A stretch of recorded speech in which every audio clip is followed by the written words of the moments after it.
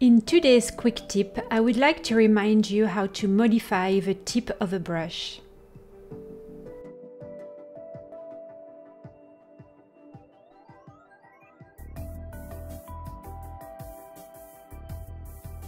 Grab a brush. Maybe choose something that has a texture like this one here.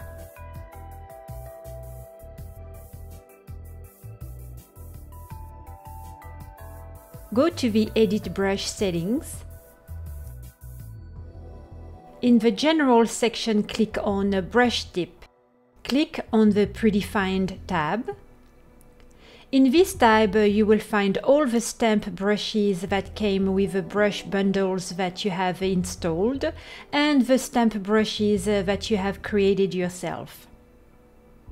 Alright, so now pick a stamp. I think I'll use uh, the flower I created a few months ago, so let me find it. Here it is, and now let me try the brush. Pretty neat, right? Okay, so now let's try another stamp. And let's do the same thing.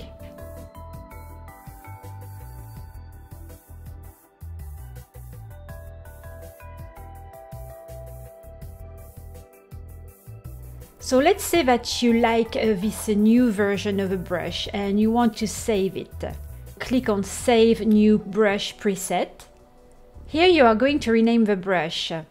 Now I would advise you to start with your initials. Uh, this way, if you don't remember how you called this brush, when you do a search, just type your initials and all the brushes that you have created uh, with your initials will appear.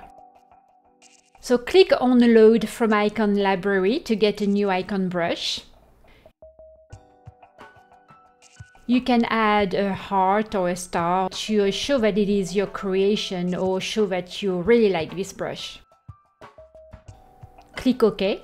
And now paint at the very bottom uh, of the corner here to show that it is your creation.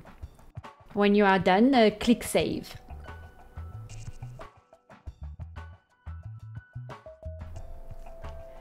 Let's choose a new brush. Maybe uh, the Bristle Hairy? So this brush is uh, pretty basic as you can see. Let's go back to the edit brush settings.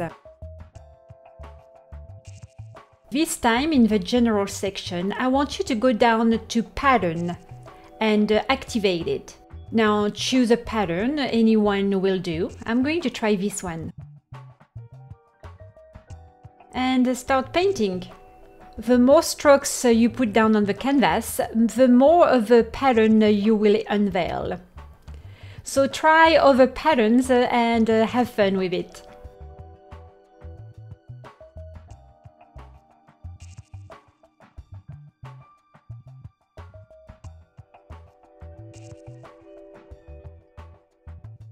Now, if you want to know more about uh, how to create, uh, modify and save your new brushes, uh, make sure to check my brush tutorials.